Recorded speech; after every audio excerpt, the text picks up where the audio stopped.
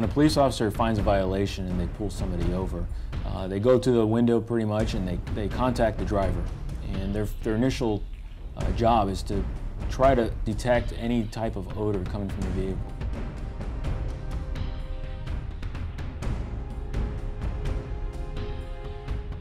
They would then request the driver to exit the vehicles to further do uh, what they call field sobriety tests.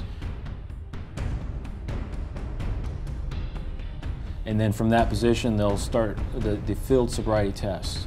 And there's an assortment of field sobriety tests in which the officers perform here on base.